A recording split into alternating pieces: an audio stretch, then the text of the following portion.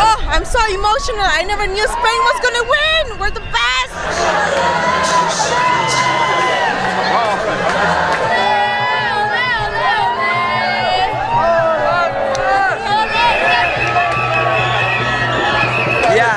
Yeah, yeah, I had it. I knew it was gonna happen. I, I had faith in them, and it happened. So yeah.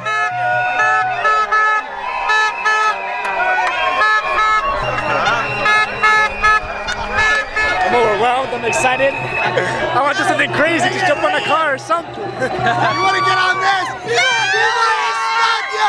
Viva España! Come on! You showed up. You showed up. But he's talking to me. Okay, I'm just gonna scare him. Chuck in the curves and got rid of the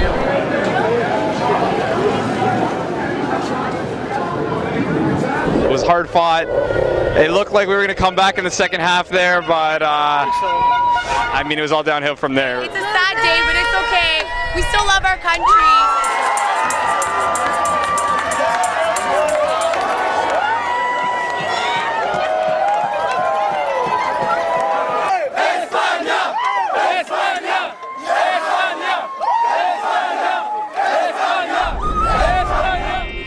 The Canadian Press.